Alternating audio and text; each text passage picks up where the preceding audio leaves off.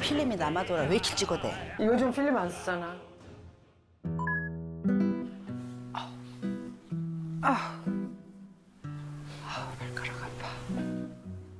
여기?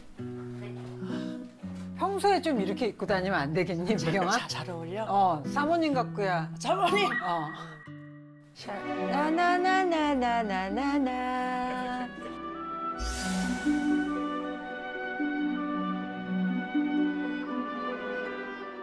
니나노. 그건 하지 말고. 왜, 왜 꼭 그걸로 끝나, 왜. 왔다 왔다. 안녕, 안녕, 안녕, 안녕. hello hello. hey. 어. 아 누나들이 뽑아주신 분은 사실 나는 정말 사랑하는 분이었어 옛날에. 내가 깜짝 놀랐어 이분을 봐서 누나들은 사실 이분 원래 알, 알았던 분은 아니지. 그렇지. 근데 이제 누나들이 수많은 사연 중에 이분을 딱 고르게 된 그 이유가 일단은 연배가 우리 또래. 우리 또리니까. 어. 음, 맞아. 그 연세에 아직도 필드에 있고 싶어 하는, 무대에 있고 싶어 하는. 그게 너무 감동적이더라고. 어. 거기다가 또 병도 앓으셨는데 그것도 극복하시고.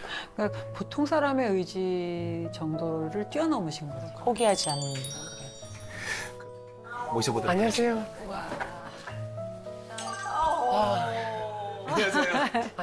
안녕하세요. 안녕하세요. 안녕하세요. 안녕하세요. 뵙게 돼서 영광입니다.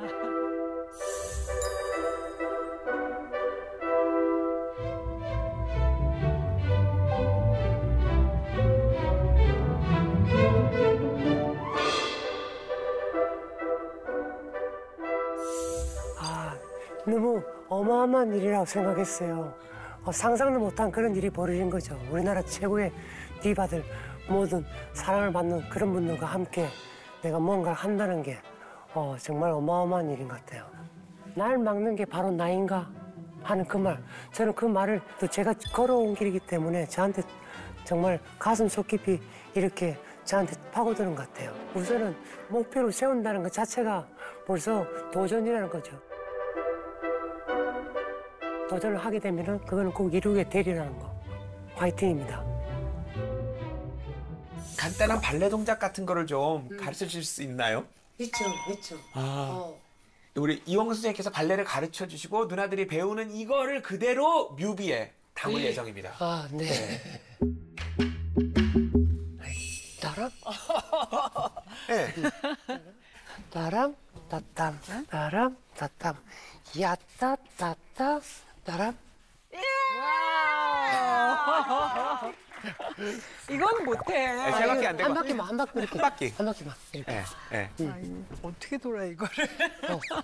따라. 어, 맞아요. 맞아요. 할게요. 어. 하나, 하나, 다섯. 됐어. 맞아요. 오! 오! 어떻게 돌아 이거를? 어. 돌기 시작하면 진짜 이상해지는. 경기를 이렇게 보다가 경기를 보다가 빨리 짠. 맞아요. 어, 맞아요. 맞아요. 맞아요. 그렇게. 음. 이렇게. 이렇게. 죄송합니다 선생님. 너무 열등생이라. 어,